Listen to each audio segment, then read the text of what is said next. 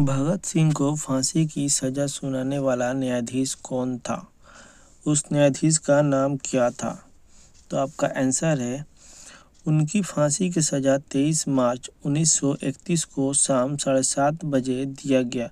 उन्हें फांसी की सजा सुनाने वाला न्यायाधीश का नाम जी सी हिल्टन था। ऐसे ही जानकारी पाने के लिए आप हमारे channel Musahib GS and G के अपडेट्स को सब्सक्राइब करें और ऐसे ही नॉलेज पाते रहें और ये नॉलेज अपने दोस्तों को भी शेयर करें।